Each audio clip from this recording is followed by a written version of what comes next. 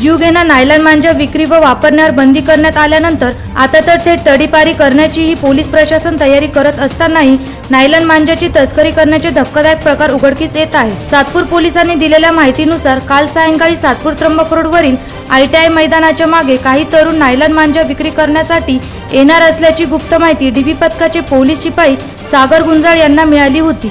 त्यानुसार वरिष्ठ पोलीस निरीक्षक पंकज भालेराव यांच्या मार्गदर्शनाखाली सापळा रचत हवालदार दीपक खरपटे भूषण शेजवळ सागर गुंजाळ योगेश गायकवाड यांनी शनिवारी रात्री सातच्या सुमारास आय टी आय मैदानाच्या मागे पल्सर दुचाकीवरील दोघे संशयित युवकांची तपासणी केली असता त्यांच्याजवळ असलेल्या एका गोणीत नायलॉन मांजाचे तब्बल तेवीस गट्टू आढळले.